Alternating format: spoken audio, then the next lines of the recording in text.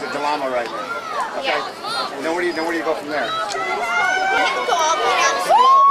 All right, go to Sepulveda. I was all the way to Sepulveda. Go next!